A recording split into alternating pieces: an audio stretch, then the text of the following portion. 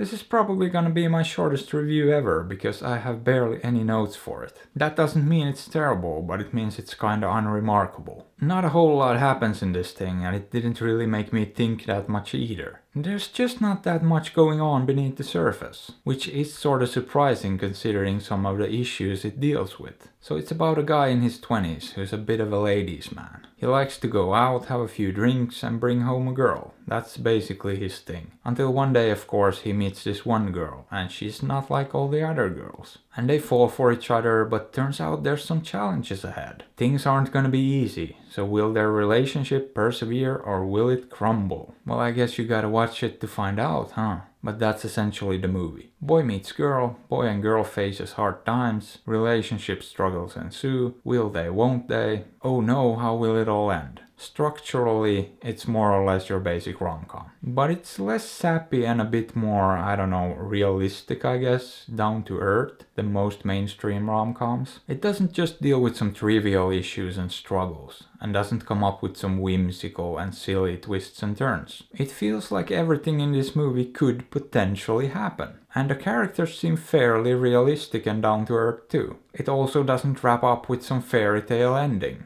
Speaking of which, I did like the ending. It was good. So all around it's a lot less flashy and crazy and a lot more grounded than most rom-coms. But for some reason there's still not that much depth to it which as I said is a bit surprising. However, I did like the characters. At times they could be a bit frustrating, especially the main guy, but I mean, I'm pretty sure that was intentional. And I liked the pacing too, it just kept the momentum going, never slowed down. Sometimes it felt like it was almost rushing, but it really wasn't. It just skipped over all the boring stuff and got to the important parts instead. And if I really look at it on paper, it should have been better. I don't really have any complaints other than that the cinematography wasn't amazing. It looked kinda bland and washed out, which might have actually made the movie feel more bland than it actually was. But other than that, I thought everything was pretty well done. As I said, I like the characters and the acting's great, no issues there. And the story felt pretty grounded and I really liked the ending. It found a way to bring everything full circle and do the rom-com thing